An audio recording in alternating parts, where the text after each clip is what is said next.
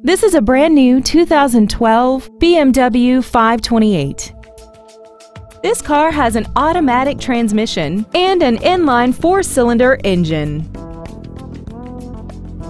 Features include the premium package, a rear view camera, high-intensity headlights, a leather-wrapped steering wheel, traction control, brake assistance technology, side impact airbags, steering wheel memory settings, and the heated seats can warm you up in seconds, keeping you and your passengers comfortable the whole trip.